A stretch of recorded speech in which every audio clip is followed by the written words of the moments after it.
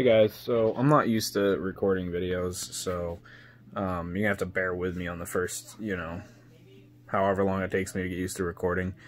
Um, but I'm gonna be posting a video, an unboxing video later on, uh, probably on uh, either tomorrow or Friday, and uh, it'll show you everything about the uh, drone. Give you a quick little shot of it real quick.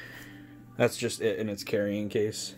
Um, I will show you guys uh, everything that's inside the box when I upload the unboxing video. Uh, but to see all my future content, just go ahead and like the video and subscribe and make sure the notifications are turned on.